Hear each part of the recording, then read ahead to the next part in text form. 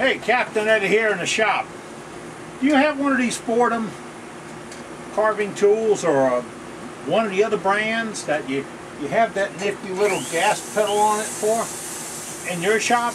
And you're trying to do something without burning up the 3M pad too bad or a sanding disc or carving or whatever and you want a little slow speed and you want to get to the right spot. Well,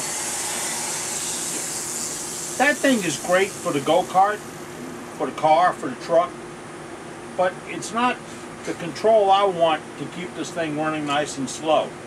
So I got to thinking about, what is that? That's a rheostat, a variable resistor. You step on the pedal to make it go and make it go faster and make it go slower. So, hey, Mr. Everett taught me in electric class that rheostats are rheostats. Find one to take its place.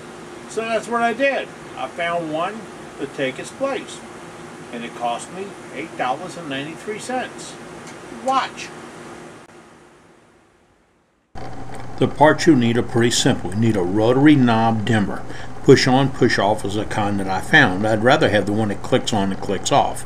You need about an 8 foot extension cord, 3 prong, no lighter than the cord that is on your motor grinder and you'll also need a handy box. Now when you pick up the handy box, make sure you get the right size. The right size is this knockout on the end.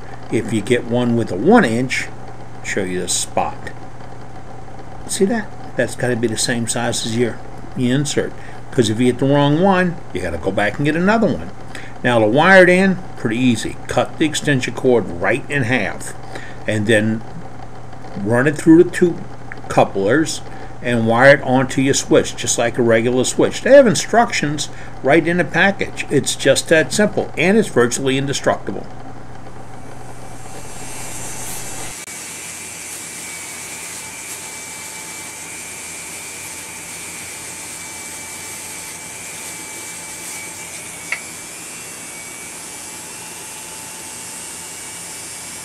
Well, there you go. Got my little variable speed thing turn it up, turn it down. What I like to do with my ornamented pieces is on blackwood, buff in a little shinola. Actually, it's kiwi, uh, black shoe polish. I'll let it dry out and get hard.